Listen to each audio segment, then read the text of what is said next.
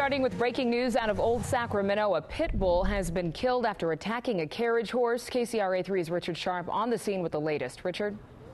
Adrian, the investigation continues right behind me here, right across the street. Officers are standing right where they say the pit bull was getting so violent as they pinned it down that they had to shoot it. Now, imagine the middle of the afternoon in Old Sacramento, lots of Christmas shoppers. Police say the pit bull somehow got loose and attacked a horse as it was giving a carriage ride.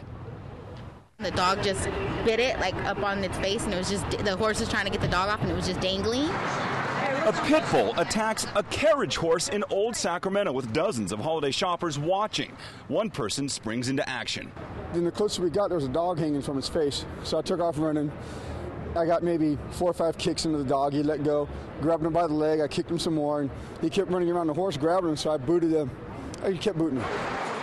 The dog runs off and John Dixon runs after it, pinning it down until police can get there. According to police, the pit bull became more aggressive, and this is just seconds before police had to shoot the dog. Dixon says he helped stop the dog because it would have attacked someone else. It, it was hanging from the horse's face with, with his legs off the ground.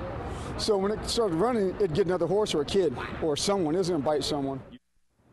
So police at this hour very thankful for that good Samaritan that sprang into action. They are still looking for the dog's owner. They say that owner was seen in this area with a leash in his hand. They have not been able to contact that person. They're asking if anyone knows about this to please report it, the whereabouts of that man. In the meantime, Investigation continues over on the sidewalk here in Old Sacramento. A busy afternoon still blocked off.